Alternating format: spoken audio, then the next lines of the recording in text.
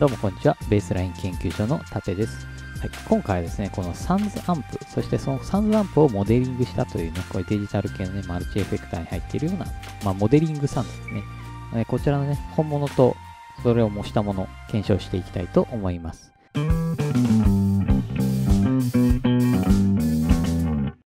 このチャンネルではこういった機材の話であったりとか、ベースラインの作り方、既存曲のね、演奏解説などを配信しておりますので、ぜひぜひチャンネル登録よろしくお願いします。それではね、やっていきたいんですけども、まあ、こちらのね、サンズアンプっていうのは、まあ、1994年にね、まあ、こちらはもうあの最新型でちょっと形違うんですけども、発売されて、その初号機が発売されてね、それ以降ずっと大ベストセラーになっているわけなんですね。はい。もうね、25年ぐらい続いている、本当にもう名機中の名機と言われているものですよね。だからプリアンプとかアンプシミュレーターっていう業界の、まあ、先駆者的な存在ですよね。で、やっぱこのサンズの音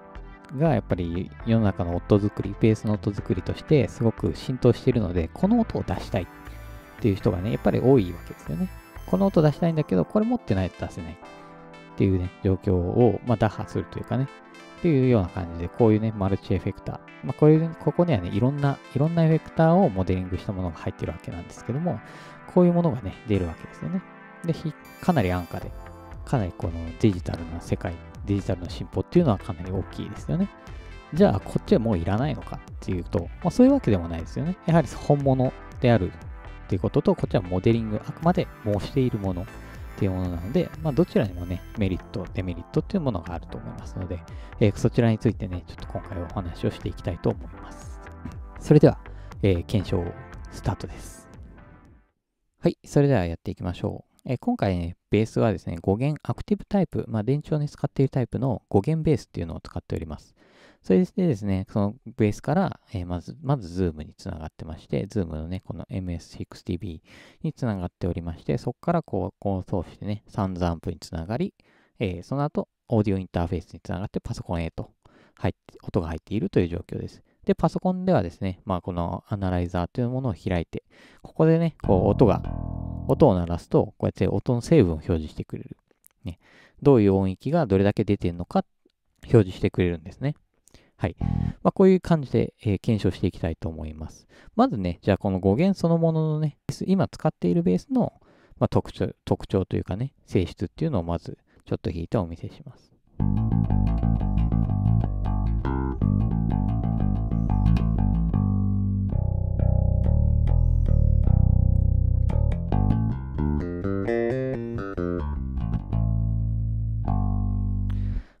まあ、こういう感じですね。まあ、これが今回の基準になっているというふうに考えていただければいいかなと思います。それでは検証していきましょう。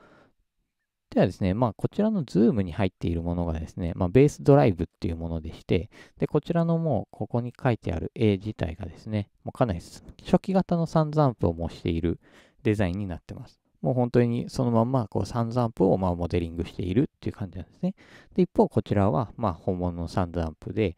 まあ、の、サンズアンプベースドライバー DI っていうものなんですけども、こちらね、V2 っていうモデルなんですよね。V2、まあ、要は初期型、こっちに入ってる初期型との後継機みたいなもので、ここにミッドがね、追加されてるんですね。なので、ねまあこ、こちらね、だから初期型を模してて、こっちはね、最新型なので、ちょっとその時点ですでにちょっと違うんですけども、まあね、あの、サンズアンプっぽいという意味では、こちらね、あの、検証にはなるかなと思いますので、これでまずやっていきたいと思います。はい、結論から言うとね、結構違うんですよね。まあ、例えるならば、なんか、本物のコーラとコーラ味のグミみたいな感じ。リンゴとリンゴジュースみたいな感じの違いがありますね。っていうのも、なんかもう極端、極端にこれサンズっぽい、サンズっぽさをこっちで極端に出しているっていうような印象ですね。もう一つはちょっとチープな感じがするっていうのが、まあ私がね、やってみた感じの印象ですね。じゃあ、えー、実際にね、聞いてみるのが一番だと思いますので、やってみましょう。はい。じゃあまずね、実際にサンズの音からいきましょうか。はい。まあ今ね、サンズは、えー、ブレンドをまずマックスにして、もうサンズの音、サンズで作られている音だけにしてですね、まあ、ドライブをね、半分ぐらいまで上げて、で、ちょっと音量調節で、こちらはね、若干下げ気味なんですが、それ以外は全部ね、フラットな状態になってます。で、こうすると、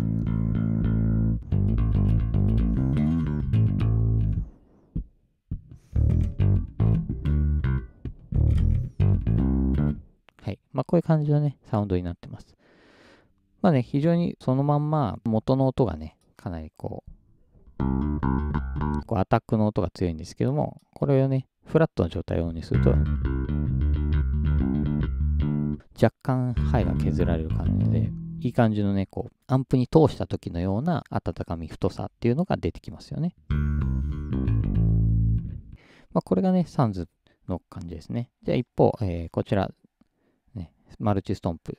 オンにしてみましょう。で、こちらも今現在、結構ね、えー、かなりフラットな状態にしてます。で、ブレンドも100%にして、まあ、そんなにね、こう、歪まないぐらいのところで、だいたいフラットな感じになってます。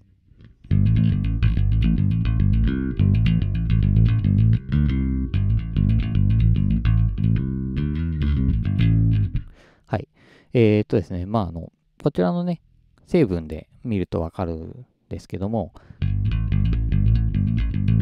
こちらね、あの、こっちフラットなんですけど、こっちに、その、本物のサンズに比べて、かなりドンシャリが強調されてるんですよね。まあ、ドンシャリっていうのは、その低音域と高音域が両方ともこう出た状態で、中音域っていうのは全くないんですね。中音域っていうのはカットされてる。だから今、あの、アナライザーで見るとですね、あの真ん中だけないので、山が2つあるように見えますよね。で、結構低域出ているので、左側の山がすごい大きいと。はい。で、えー、右側のね、高音域も山があるっていう感じですね。もう逆にこの500から1キロヘルツあたりが全く出ていないという状況ですね。元の音聞いてみましょう。同じところで今、あの、えー、3弦のね、ドトレ、ドトレを弾いてるだけなんですけど、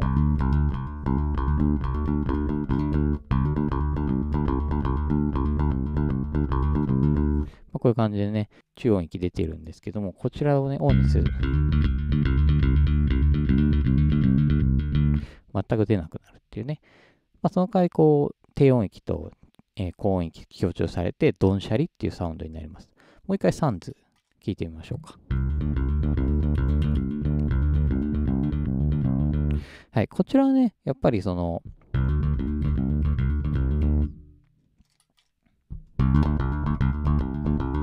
はい。こちらはね、元の音をね、あんま殺してないんですね。ちょっとサンズにかけたときが。はい。で、元の成分はあんまり殺してない。そのまんまね、えー、元のベースの音を忠実に、まあ、チューブアンプにつないだような、そういう再現になってるかなと思います。こっちはね、いわゆる、いわゆるサンズ感って、なんかサンズってやっぱそのバキバキのドンシャリサウンドみたいなものが、やっぱり、あの、特徴的な部分なんですよね。まあ、モノマネ芸人の人がね、本物の癖とかをこう強調するのと一緒で、こちらはね、このサンズのドンシャリ感っていうのを、すごいね、強調している感じがしますね。で、いろいろね、これいじってみたんですけど、じゃあ例えばこのドンシャリ、ドンシャリの状態が強いので、えー、もうちょっと中域上げられるのかなと思って、で、こちらね、中域ミッド、ミッドがね、入っているので、ちょミッドを上げてみるとですね、確かにね、あの250から500あたりっていうのが上がるんですよ。ただし、あのやっぱり500から 1kHz あたりって一切上がってこないですね。じゃあちょっとミッド削ってみると、ね、これ250か500あたりが減るんですね。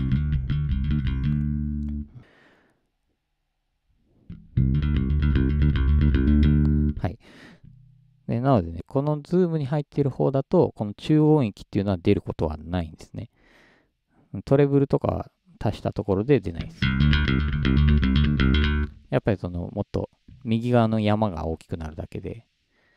こちらでもやっぱり中音域は出ないです。だからこれ結構いろいろ調整できるんですけど、まあブレンドするとね、若干原音が入ってくるので変わったブレンドは変わってくるんですけど、あの、この、この、ここに入っているサンズの音だけで言うと、中音域っていうのがほとんど出ない状態しか作れないっていうような特徴になってます。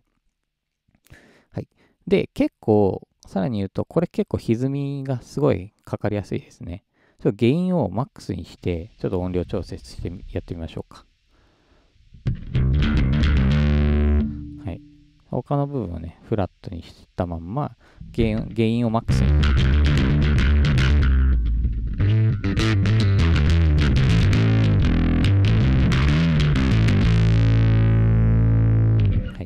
まあ、こういう感じでね、えーかなり歪みが強いんですけども、じゃあ一歩こっちね、こっちも、えーこの場合は、まあ、ドライブをね、マックスにしてみましょう。ドライブマックスにして若干音量調節して。ま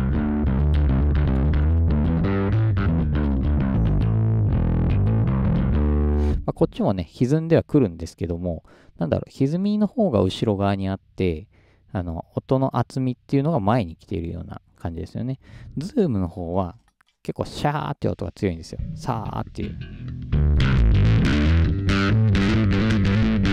で、なんかちょっと本当に音割れ、まあ、もともとね、ドライブって音が割れているようなもの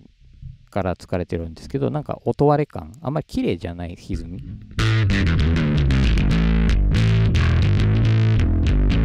ん、綺麗じゃない歪みになってますよね。もう一回こっち。あんまりね、こう、シャーっていうようなノイズっぽくない。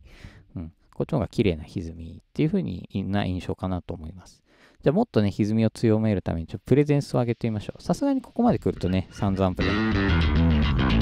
かなりこう、さーっとって。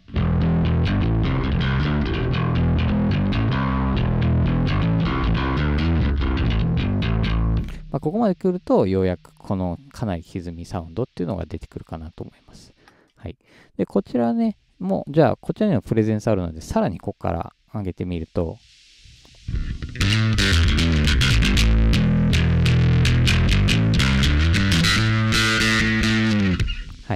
まあね、右側の山がね、さらに大きく、かなり大きくなってくるかなと思いますね。で、もう耳に痛いぐらいの成分になってますよね。こっちだと？は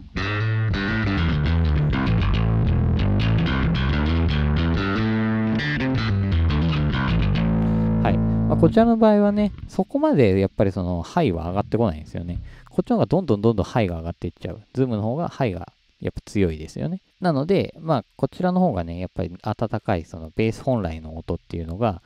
ずっと残ってるような印象ですよね。で、えー、ズームの方だと、やっぱりこれ、どういう調整をしても、どうしてもハイがね、すごい出過ぎちゃう。なので、まあ、トレブル若干切り気味でもいいぐらいの感じですよね。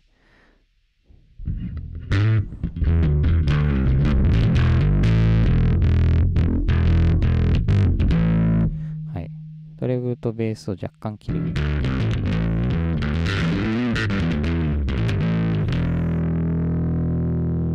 まあ、そうするとね、なんか音の太さというかね、それがなくなってきて、なんか、やっぱりなんかちょっとキャッチな感じにはなりますね。はい。こんな感じでですね、あの、まあ、まとめていくとですね、やっぱり Zoom の中のサンズを模したものと、サンズ本物はやっぱり全然ものが違うっていうような、私はそういうような結論です。でですね、まあ、最初にも言ったように、やっぱりこっちのね、ズームっていうのは、まあ、コーラとコーラ味みたいな、ね、リンリンゴとリンゴジュースみたいな、まあ、そういうね、違いがあってですね、こっちの方が、まあ、ある意味その特徴の部分を抜き出して、強調して、これ、それっぽいよね、みたいなところ、モノマネ芸人が本物を真似するかのような感じの、まあ、そういう、そういう強調の仕方がされているので、フラットな状態でも、まあ、ドンシャリサウンド、ドンシャリで歪ませてあるっていうようなサウンドがかなり強いのかなと思います。で、実際の本物のサンズアンプっていうのはもうちょっと柔らかくて、で、こっちね、ちょっとやっぱり、これちょっと成分の方に出てるっていうよりは、もう本当に耳で聞いたときに、チープさがやっぱりあるんですよね。歪みのさーって音であったりとか、あとその、画質が荒いような感じですよね。ちっちゃい画像をこう大きくしたような、そういう粒の粗さというか、そういうね、綺麗じゃない歪みだったり、その音自体もちょっと悪いような感じがします。で、一方がサンズアンプっていうのは、こちらやっぱりその、元々のコンセプトがそのチューブアンプっぽい真空管アンプのような、えーサウンドを目指しているっていうところがあるので、やっぱりその温かさとか太さっていうのを、まあ、殺さずに歪み感であったりとか、あのまあ、ドンシャリサウンドにもできますけどね、そういうところを、えー強調していくっていうようなものになっているので、フラットな状態だと割とそのまんまのベースの成分をそのまんま底上げしてくれるような、そういう印象になるかなと思います。まあね、これはね、えー、まあ、ご自身でね、聞いてみて、比べてみるのも面白いかなと思いますけども、私の検証ではこういう結果になりました。まあ、とはいえね、こちらでもね、ぽいことっていうのは出るので、まずはね、こちらどう考えても安価ですし、いろんな機能入ってますので、あ、こういう特徴があるのかとかね、まあ、まずこっちもまだ散々持ってない方はね、こちらであのいろいろ試してみるのはまずはいいかもしれないですよね。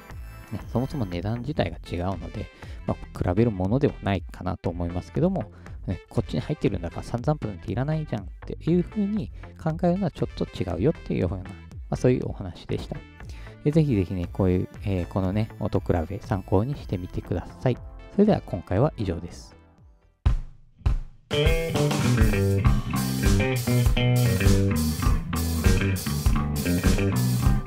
Thank you.